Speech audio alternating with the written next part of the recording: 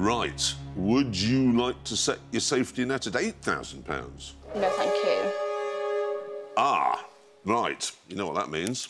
I have to go and get changed. Yeah. I'm not supposed to say that, am I? That's exactly, that's exactly what it means. And then...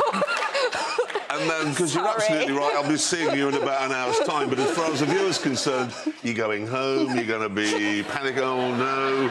And then we'll see you next week.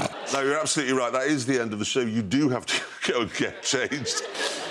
Uh, yeah, Maria will be back uh, next time, it says on the auto cue, to see if she can get further than, uh, where are you, £4,000.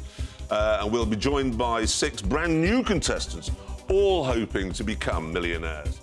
OK, here's my final question. Would you like to see more Who Wants to Be a Millionaire videos? Then click subscribe and you're guaranteed to win.